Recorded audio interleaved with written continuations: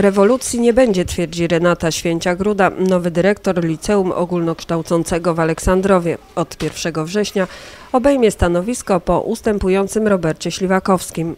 Nie przewiduję żadnych radykalnych zmian w placówce, ponieważ potrzebuję trochę czasu na to, żeby zobaczyć, jak wygląda proces dydaktyczny, proces wychowawczy, jak są realizowane projekty i programy.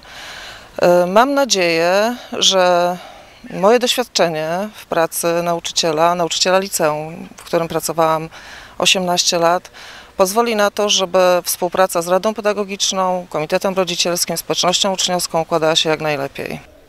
Robert Śliwakowski był dyrektorem liceum ostatnie dwa lata. Na taki okres zarząd powiatu zgierskiego powierzył mu to stanowisko po odejściu na emeryturę Zofii Heichmann.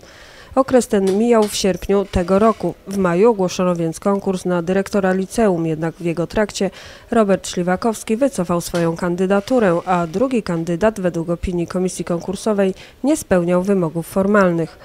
By szkoła od 1 września nie została bez dyrektora, starosta powołał na to stanowisko Renatę Święcia-Gruda, dotychczasową zastępczynię burmistrza.